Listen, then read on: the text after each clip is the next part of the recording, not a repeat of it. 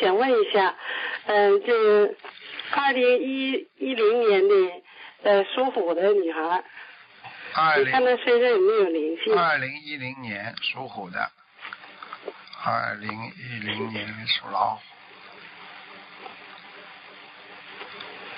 身上有灵性啊，啊，有灵性，有灵性啊？嗯，嗯、是什么样的灵性呢？什么样灵性？鬼呀、晚上我叫他来找你来，啊你来看看吧。是是那个大人，是那个念经就好了，不要去问了，念经就好了，啊。念经就好了，不要去呃，问念多。少张小房子吧，师傅，你告诉我。六十八，六十八张小房子，嗯，放生多少条鱼呢？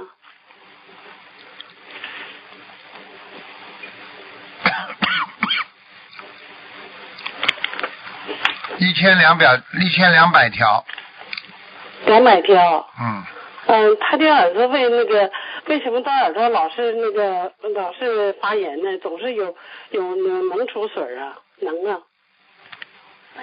没鬼发炎没没鬼的话呃会发炎吗？很臭的，三岁就开始了，我问你。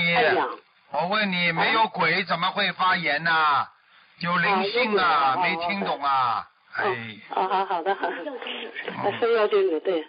药精者有了才会发炎的。啊，那给他念那什么，念那个六六十八张小我，讲个事情给你听听，一个小孩子生出来就有中耳炎，一直流脓流哦，水，生来就有结？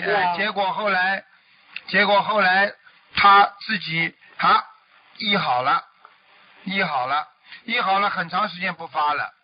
医生说不，医生说不会再发了，但是后来灵性上升了，就找那原来那个肮脏、容易生病的地方，他嗯又发了，也就是告诉你，灵性可以诱发你身上的业障和身体不好的地方，听得懂那他吗？妈给他念了那个呃五百五百多张小房子，完了对呀还还是完了好了一阵，完了又开始犯了，嗯，不会的，不会那么快的，这种灵性病他不会那么快的。不会那么快哎的。哎哎哎，好吗？好好的念下啊，去。他经常梦到那个观音菩萨还有师傅嗯，抱着他，啊这怎么回事呢？他是加持啊，是是这还不懂啊？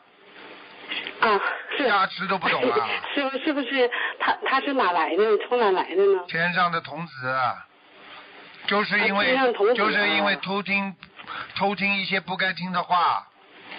啊，我告诉你，天界有哦很多规矩的。是吗？对呀、天界有很多规矩，因为有些菩萨讲话呀，比方说玉皇大帝啊，他们讲话，你不该你先同听的，你去听了，你就有业障，你要罚下来的。